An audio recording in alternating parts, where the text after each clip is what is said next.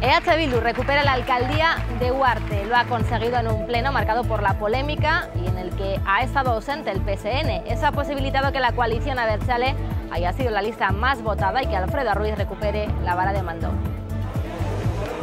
EH Bildu le pidió en el Parlamento Foral, en la toma de posesión, a la señora Chivite eh, el Ayuntamiento de Huarte y hoy hemos visto cómo se entregaba el Ayuntamiento de Huarte a Bildu por omisión. Eh, creo que, que, la situación que se había producido en Huarte eh, era ingestionable. Huarte ha sido hoy foco de todos los medios, no han faltado las reacciones a nivel nacional. El PSOE asegura que no hay ningún pacto con Bildu, sin embargo, desde la derecha insisten en la evidencia de un acuerdo entre ambas fuerzas. No hay ningún pacto con Bildu ni en Navarra ni en ningún sitio.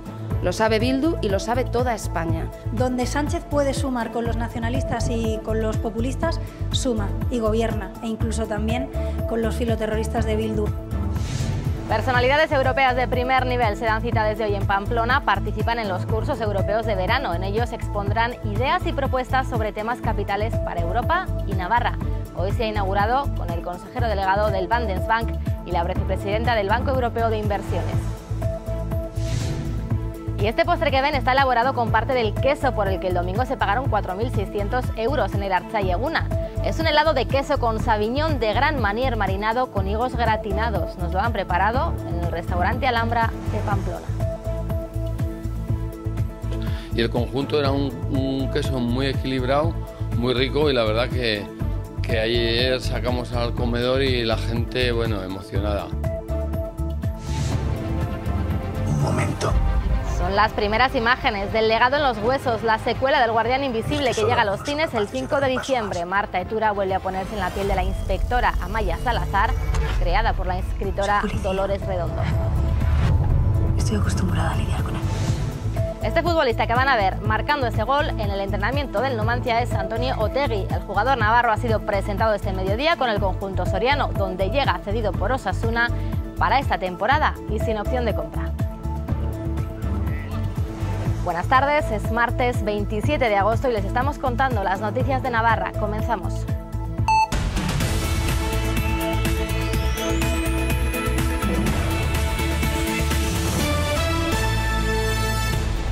Huarte ya tiene nuevo alcalde. Se trata de Alfredo Arruiz, el cabeza de lista de EH Bildu, que ha logrado revalidar así el cargo que ya ejerció en la pasada legislatura, aunque lo ha hecho en medio de toda la polémica desatada estos días con las acusaciones al Partido Socialista de Navarra, que hoy ha estado ausente. En ese salón de plenos está Sandra Catalina. Buenas tardes, cuéntanos.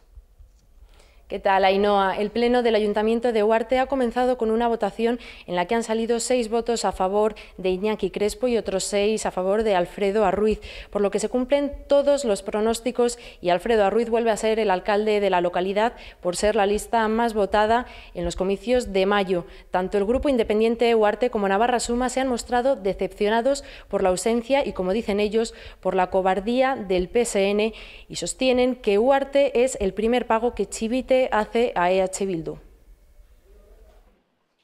EH Bildu recupera la alcaldía de Huarte en medio de la polémica. Agradecemos que por fin termine ya este sainete. Huarte no es un pueblo acostumbrado a estar en el foco mediático tal y como lo hemos vivido en días atrás. Un pleno en el que han estado presentes 12 concejales, pero ninguno socialista. ¿Tanto costaba venir y votar con libertad? No han faltado las tensiones por la postura del PSN. Es lícito pactar, es necesario pactar. Lo que nadie entiende hoy es comportarse con la cobardía con la que lo ha hecho el PSN-PSOE. Tanto el grupo independiente Uarte como Navarra Suma lamentan la situación. El comportamiento evidencia, como digo, el pacto que hay implícito entre H. Bildu y el Partido Socialista de Navarra. Acusan a Chivite de regalar la alcaldía al grupo Abertzale. Que el PSN ha renunciado a su responsabilidad con Uarte. Ha preferido plegarse a otros intereses que no son los de los vecinos ni tampoco son los de los navarros. La intervención era interrumpida por las risas y los abucheos de los presentes en el salón de plenos. Señora Ruiz, hoy usted es de nuevo alcalde y lo va a ser no por la voluntad de los vecinos y las vecinas de Huarte, sino por el apaño.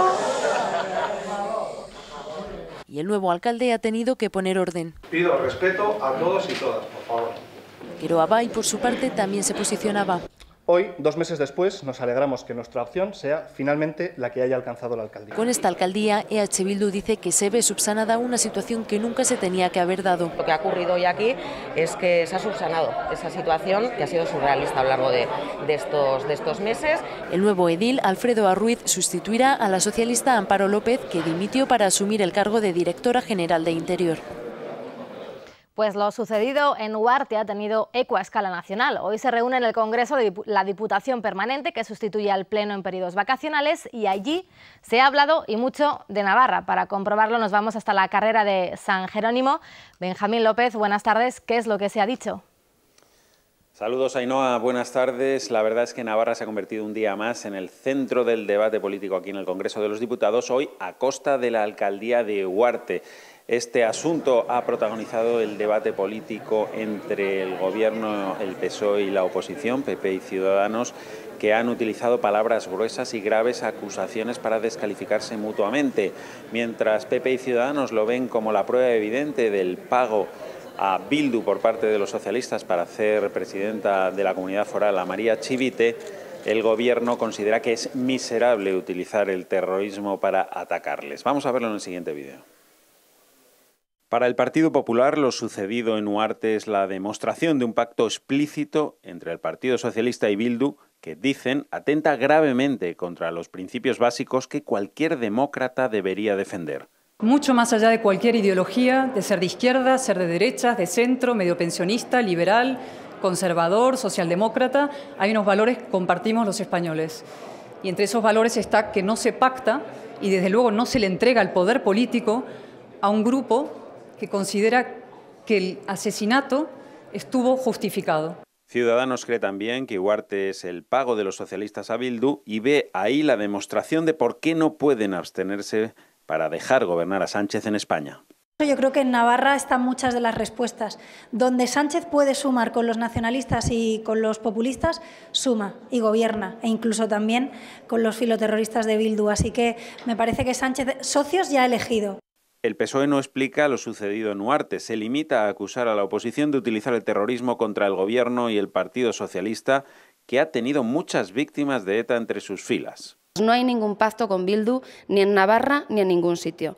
Lo sabe Bildu y lo sabe toda España. Y es miserable, o son miserables, las declaraciones del Partido Popular, eh, de Ciudadanos y en este caso creo que de Vox, bueno, la, la, la coalición radical de derechas. Y Bildu niega también cualquier pacto con los socialistas. No, no hay ningún pacto.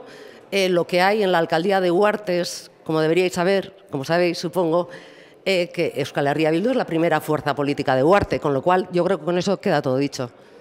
Lo extraño sería lo anterior, lo que estaba pasando anteriormente, ¿no? Vox, por su parte, cree que Huarte es solo el paso previo, dicen, para entregar Navarra al separatismo. Y hoy la consejera de Cultura asegura que las bases para la selección de la gerencia de la Fundación Baluarte tuvieron una difusión correcta. Lo dice después de que Navarra Suma haya exigido la documentación completa del proceso de selección. Dice la coalición que dos de los diez aspirantes han denunciado cambios irregulares y opacidad en el proceso de selección.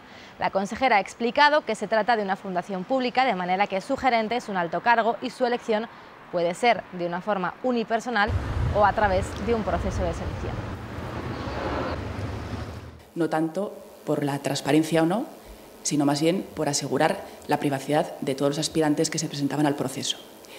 Es verdad que Navarra Suma ha registrado una petición de información al Parlamento solicitando la documentación al respecto, de manera que nosotros responderemos a esa petición adjuntando la documentación que podamos adjuntar, que jurídicamente se nos permita adjuntar. La pensión media en Navarra se ha situado este mes de agosto en los 1.140 euros. Eso supone un 3,7% más que en el mismo mes de 2018. En el resto del país, la pensión media se sitúa por debajo de Navarra, alcanzando los 992 euros. Son datos del Ministerio de Trabajo y Seguridad Social, que también destaca que el número de pensiones en la comunidad foral se situó en 137.159.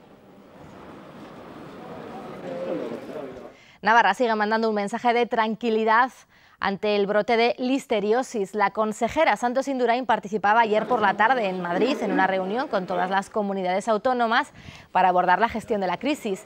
Indurain destaca que en nuestra comunidad no se ha dado ningún caso, pero sí pide prudencia ante la necesidad de mantener la alerta sanitaria en la red de atención primaria y hospitalaria hasta darse el brote por controlado.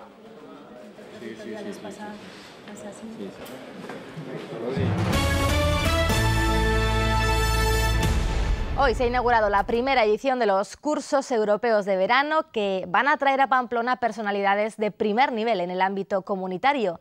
Tendrán lugar en el Salón de Actos de Civicán con entrada libre y gratuita.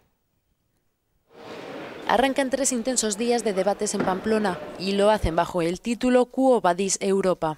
Eh, desde luego me parece acertadísimo el, el título Quo Vadis Europa que aparece en el dossier informativo y desde luego creo que es un orgullo y un privilegio el poder escuchar a los ponentes que van a, a, a continuar con, con el uso de la palabra. Bienvenidos a Navarra. Con estos cursos se pretende dar luz a cuestiones como la economía alemana, el Brexit o la crisis de migrantes. Vamos a tener posibilidad de poder dar, intentar dar respuesta a preguntas que tienen difícil solución.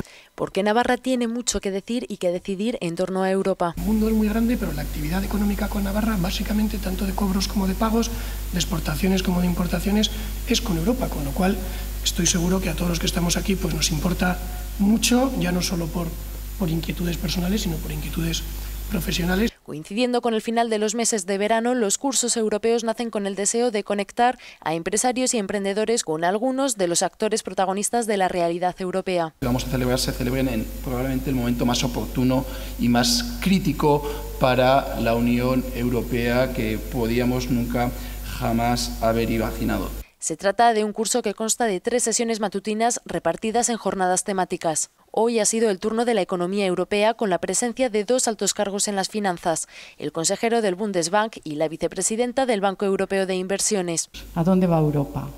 Y esto, aunque puede parecer que son cuestiones que no nos afectan en el día a día, en el fondo nos, afecta, nos afectan de gran manera, porque lo que se decide en Europa al final nos influye. Mañana el análisis se centrará en la construcción europea y el último día el tema será el Camino de Santiago como exponente de la integración cultural en Europa.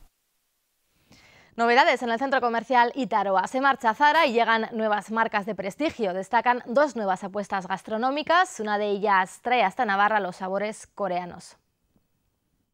El centro comercial Itaroa de Huertes se reinventa. Por una parte, anuncia la salida de Zara, la marca de Inditex, al edificio de la Vasco Navarra de Jaungoku, que se llenará con nuevas firmas de moda. Supone una modernización, unas nuevas unos nuevos modelos de negocio que queremos ofrecer a los visitantes y a nuestros clientes aquí en Navarra. Queremos también eh, optar por un poco la diferenciación, teniendo locales eh, de, gran, de gran prestigio, pero que no están en todas las áreas. Y sobre todo destacan dos nuevas apuestas gastronómicas. La cadena de hamburguesas Goico Grill instalará su segundo establecimiento en Navarra y hasta aquí llegan también los sabores coreanos con la llegada de un nuevo restaurante. Arirang que tiene un concepto nuevo de barbacoa estilo coreano que yo creo que va, va a tener gran aceptación. La ocupación de los locales del centro comercial Itaroas se encuentran prácticamente al 100%.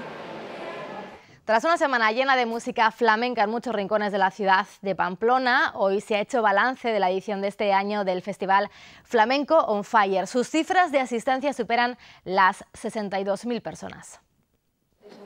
Una vez terminado el Festival Flamenco on Fire, toca hacer balance con un objetivo claro. Seguir creciendo, seguir consolidándose, seguir siendo ese referente en el que se ha convertido. Por... Concretamente, este año han crecido un 14% y con cifras récord de afluencia de gente de todos los países. Ha tenido alrededor de 62.900 asistentes en la suma de todas las actividades que hemos realizado, que supone un 14% más que la edición anterior. Eh, son de un notable éxito en participación, en movilización de espectadores, tanto de la propia ciudad como de otros puntos que ha habido una gran afluencia de turistas que nos han venido acompañando. Más allá de los números, el festival ha servido como punto de encuentro entre la diversidad. Se favorecen espacios de, de encuentro y de convivencia. Eh, eh, da igual que sea en los balcones o en el bosquecillo, cualquier espacio, ves eh, la diversidad, esa diversidad de la que hablamos, que está muy presente en cualquiera de los espacios eh, del, del festival y eso es importante. Familias enteras. A nivel musical, el flamenco ha inundado cada rincón de la ciudad. Es historia de acercar la cultura, y en este caso la música flamenca, a todos los públicos, en entornos públicos, al aire libre, como son las plazas y los jardines de Pamplona. Ahora habrá que esperar al año que viene, un año donde habrá muchas sorpresas por el 30 aniversario de la muerte del guitarrista flamenco Sabicas. El Festival Flamenco on Fire se despide hasta el año que viene y mañana arranca el Festival de Circo de Navarra. Lo va a hacer en Tudela, una de las localidades junto a Huarte, Alsasua, Viana y San Adrián que van a acoger este festival. Se va a prolongar hasta el próximo 1 de mayo y con él, en las calles de estas localidades, se va a poder disfrutar de malabares, acrobacias, equilibrios y magia. Como decimos, mañana el circo llega a Tudela, en concreto a la Plaza de los Fueros, el Paseo Keiles y a la Plaza de la Constitución. Y en Marcilla, el Día de las Peñas está marcado por el Felpudas Sound Festival, un evento que un DJ de la zona organizó para unos amigos hace ya 10 años y que se ha convertido en referente de la música electrónica de la zona. Comenzó siendo unos cuantos amigos. Mis amigos decidieron empezar con una fiesta pequeñita, improvisada. Empezamos el mismo día, fuimos a por, los, a por el equipo, los saltados y todo eso. Y, y nada, ha ido creciendo y, y, hasta hoy. Y diez años después se ha unido todo el pueblo. Viendo el paso de los años de cómo empezó ese cartel incluso y la fiesta, con dos caballetes y una tabla, ahora lo que es, pues es un espectáculo. Sabemos que viene mucha gente de fuera y nosotros la verdad es que nos esforzamos muchísimo en que salga muy bien. El Felpuda Sound Festival es el plato fuerte de las fiestas de Marcilla. La piel de gallina, esto lo habla por sí solo. Desde que ha empezado no es el frío, es el Felpudas. Y el décimo aniversario del Felpudas y fieles a nuestro pueblo. Los ingredientes, música electrónica, un tema, este año el fondo del mar, y disfraces. Unos los hacen coincidir con la temática. Guayanos en Marcilla. Hemos cogido un avión express para venir hoy aquí. Somos estrellitas de mar y otros aprovechan para reivindicar. Para mostrar la suciedad que tenemos en el planeta y especialmente ya que el Felpudas este año va sobre el mar, pues la porquería que hay en el mar. Aunque todos coinciden, lo importante no es el disfraz, sino disfrutar de la música en la calle. Yo es la primera vez que me disfrazo el Día de las Peñas. Era un día especial, décimo aniversario, hay que celebrarlo. Como novedad este año, varios músicos sobre el escenario para acompañar al maestro de ceremonias. El Felpudas cumple 10 años, demostrando que la música electrónica está más viva que nunca.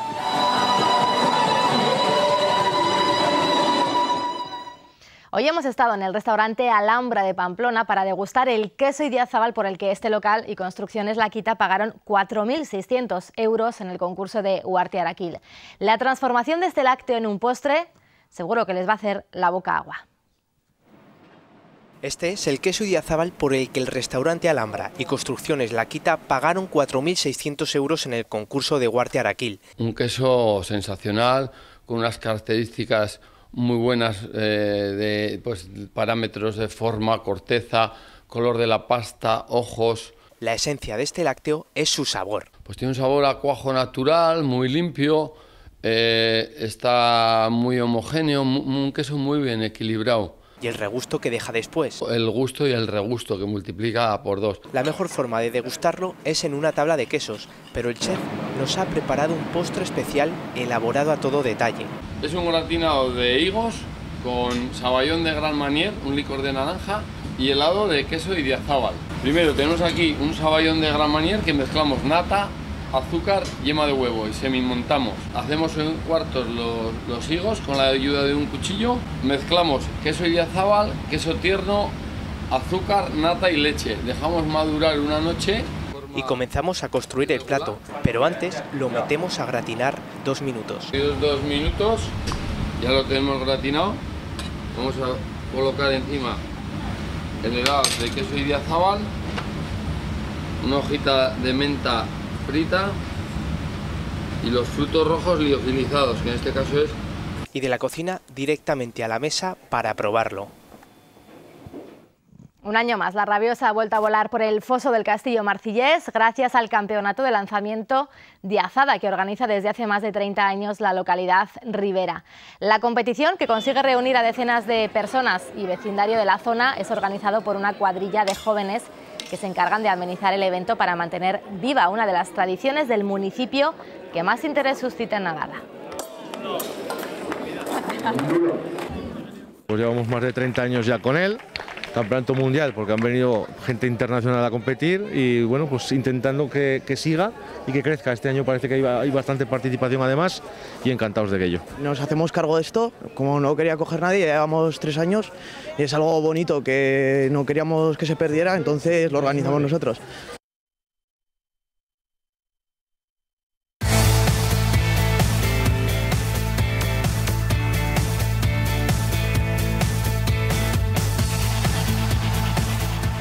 Antonio Otegui cambia de rojo. El centrocampista va a jugar en el Numancia esta temporada. El club rojillo atiende a los deseos del futbolista de tener minutos y a pesar de que Arrasate manifestó que contaba con él, le cede al conjunto soriano.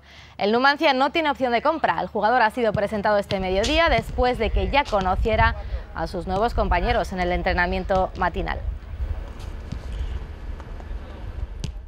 Yo estaba en Osasuna centrado en la pretemporada y al final pues Osasuna ha sido mi casa y nada, estaba muy contento yo, pero yo soy el interior del Numancia y a mí me motivó esta idea y me parece un buen equipo para crecer. El año pasado en Melilla dio un paso en su madurez como jugador y, todos confiamos que este año dé todavía un paso más para, para, ser un jugador importante en el futuro, sobre todo en, en Osasuna, en el vínculo que te, tiene él y que tengo yo y porque creo que puede ser un jugador muy importante de, en Osasuna. Otegui, convocado en el último encuentro con Osasuna, no podrá hacer lo propio frente al Barcelona. El vigente campeón visita este sábado el Sadar, una de las visitas más esperadas entre la afición y también para el vestuario. Con Messi o sin Messi, he ahí la cuestión. Y aunque para algunos la posible baja del diestro argentino invite el optimismo... Aguanta que no venga Messi, ni Suárez, ni... y a ver si podemos sacar un puntito y si son tres, pues mucho mejor. Bueno, habrá que esperar, ¿no? En el fútbol todo es posible. Fácil. Sin Suárez, ni Coutinho, ni nadie, eso solo Messi. Tiene tres tres delanteros lesionados, o sea que solo tienen a Griezmann. Que venga con Messi, con Dembélé y la Guardia Civil. En el vestuario rojillo son conscientes de la dificultad de doblegar al Barça con o sin el 10 culé. Venga o no venga con Messi, mira, eh, la semana pasada no estuvo Messi y, mira el Betis, no, pero bueno, eh, venga quien venga tenemos que mirarnos nosotros. El canario no podía ocultar que el del sábado es un encuentro muy especial, más si cabe como debutante en la categoría. Pues imagínate, ¿no? Yo que lo veía de la tele, ¿no? Desde, la PlayStation, ¿no? Pues imagínate, pues la verdad es que va a ser el, triple de, de, concentrado, de, de, emocionante, ¿no? Y la verdad que va a ser una fiesta. Titular en las dos primeras jornadas de Liga, el Majorero reconocía que se sintió aliviado cuando esta discusión que mantuvo con Brandon no tuvo un perjuicio deportivo, pues Arrasate le mantuvo como titular frente a la Ibar. Me, me la culpa, ¿no? Me equivoqué totalmente. Tienes que medirte un poco, ¿no? Y yo creo que en esa, en esa acción, pues bueno, eh, como al final la cabeza es la que manda, pues reaccioné mal y, y eso no, no es bonito, ¿no? Porque luego te ven los niños, te ven los padres y al final yo no soy así, nunca, nunca he sido así y bueno, reaccioné así.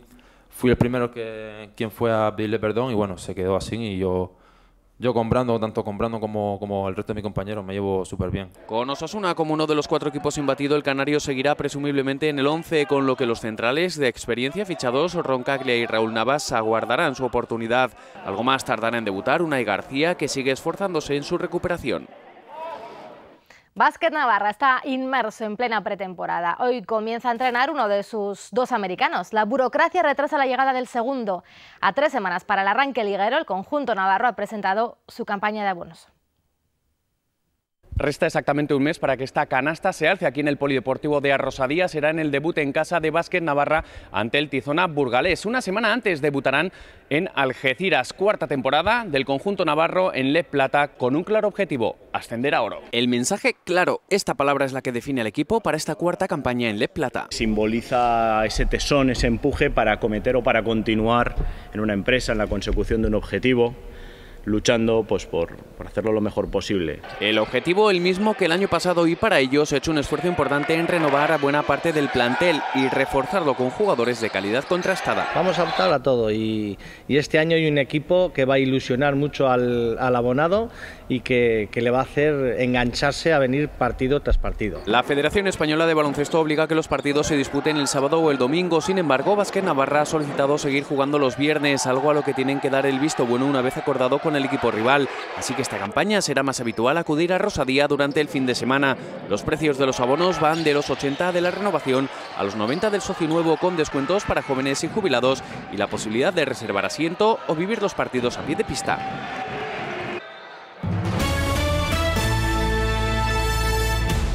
El estreno de Legado en los Huesos está cada vez más cerca. Será el 5 de diciembre cuando llegue a las grandes pantallas de cine y ya conocemos el tráiler con el que se presenta.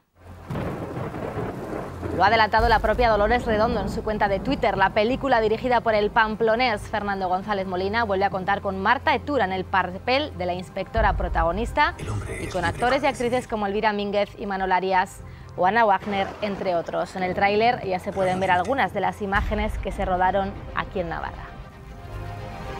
Una frontera. Un momento. Así nos vamos de momento, volvemos a partir de las ocho y media y pueden seguir informados en nuestra página web www.natv.es. Adiós.